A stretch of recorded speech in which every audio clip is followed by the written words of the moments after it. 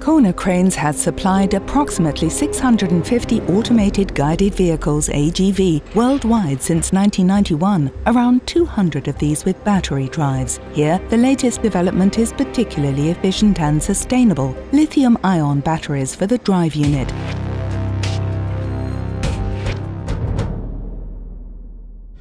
Hamburger Hafen und Logistik AG has extensively automated its container handling Konecranes as a technology partner supplies automated guided vehicles for container terminal Altenwerder. Since 2011, the terminal has opted for battery-driven AGVs. These are characterized by high eco-efficiency of the drivetrain, low energy consumption, less complexity and lower maintenance costs.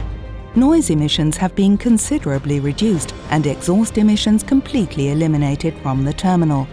The new generation AGVs with lithium-ion battery drive achieve an even higher degree of eco-efficiency at lower deadweight and up to three times the number of charging cycles. They can also be charged around four times faster. In conjunction with a fully automated quick charger, it's also possible to charge in the vehicle. Electrification of brownfield AGV terminals can be facilitated without the need for major investment in the infrastructure. AGVs with lithium ion battery drive technology for significantly greater eco efficiency. Contact us for more details.